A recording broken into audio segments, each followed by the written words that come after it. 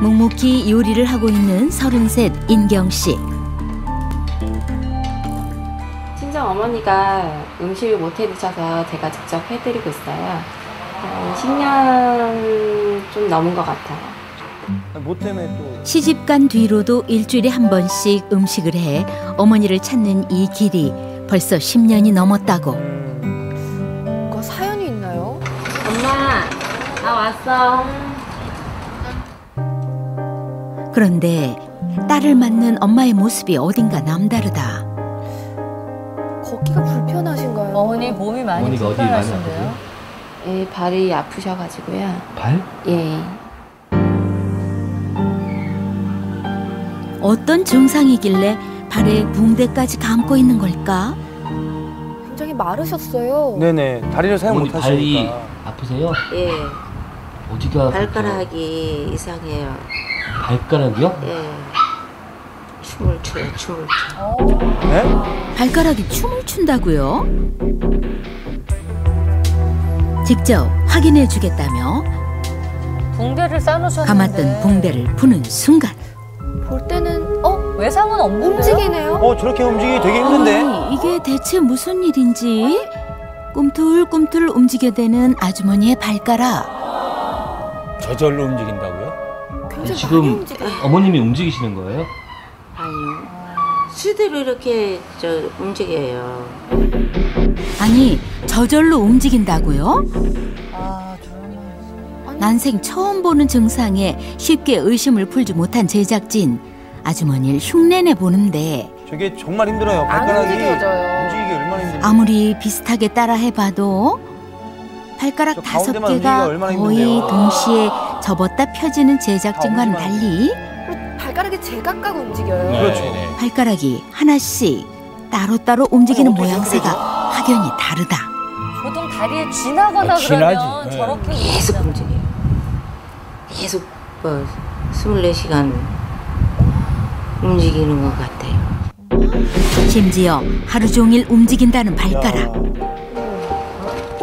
함께 있으면서 관찰해 봤더니 밥을 먹을 때도 꿈틀꿈틀.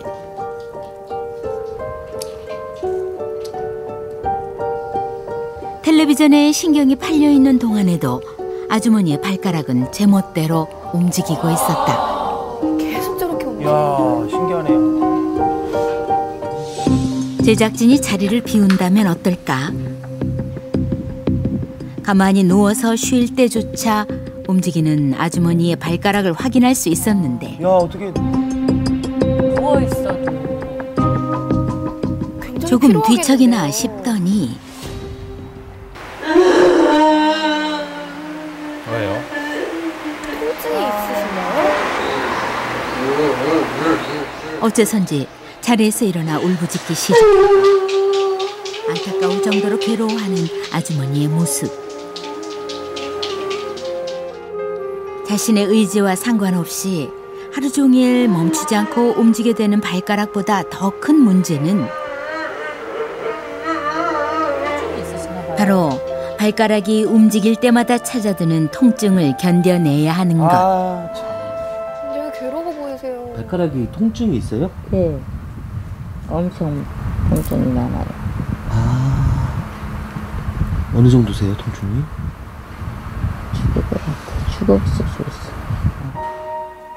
마치 근육이 찢겨져 나가는 듯하다는 통증.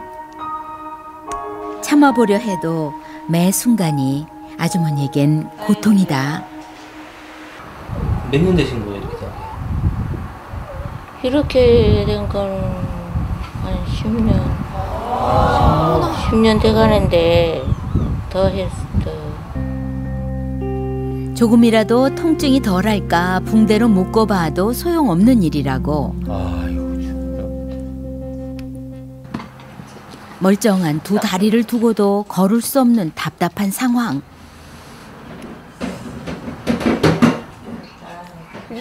기어다니. 어디서 기어다녀? 왜요? 발, 발가락이 아파서요. 발을 대신한 무릎은 이미 상처투성이. 그나마 생각해낸 게 스티로폼을 두고 생활하는 거다. 무릎 무릎에 충격이 좀 덜 가게. 그렇죠, 그렇죠. 그러면 좀 집안에서의 이동도 아주머니에겐 이처럼 쉽지 않은 일이라고